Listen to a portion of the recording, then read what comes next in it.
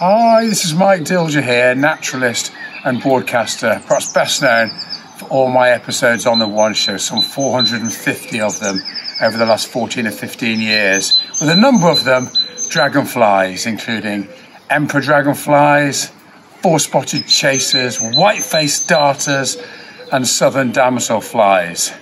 But also, as well as being probably best known as a birder and a botanist, I'm an odonatophile. I love dragonflies. Hence, that's the reason why I was very proud and pleased to be asked to be patron of the British Dragonfly Society. And I'm very excited to kick off the Scottish Dragonfly Conference 2021. I'm sure it'll be a superb day. You find me here in my garden next to my pond, which was dug 10 years ago. Like many of us, gardens, if you're lucky enough to have them, have been a fantastic resource during this terrible year. I've taken a huge amount of solace and enjoyment from being in the garden and particularly the pond. This is just the most amazing habitat. The marsh marigold is out at the moment. Large red damselflies will be emerging hopefully in the next three or four weeks, certainly.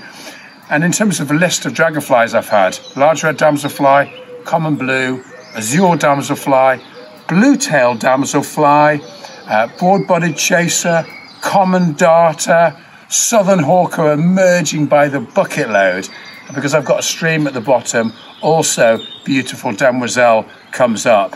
Species I don't have, of course, are azure hawker, northern damselfly, northern emerald, and uh, white-faced darter.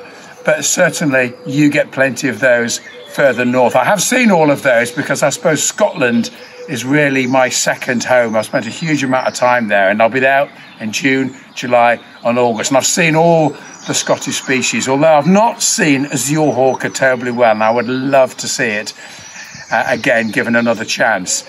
Um, it sounds like you've got a fantastic array of speakers today, and obviously a very learned bunch of delegates tuning in to hear anything and everything about Scottish dragonflies and habitats that you've got north of the border. And I even understand that Rory Mackenzie Dodd is giving a talk on dragonflies of New Zealand. How did you get that one past the committee, Rory? Anyway, it sounds like it's going to be an awesome day. I'm going to be certainly dipping in and out, particularly on the Azure Hawker and Northern Damselfly talks. Um, I'm looking forward to coming up this summer. I can't wait to see the Scottish Dragonflies. Have a great day. I'm sure it'll be brilliantly organised and incredibly informative and really enjoyable. And see you out there dragonfly hunting. Bye for now.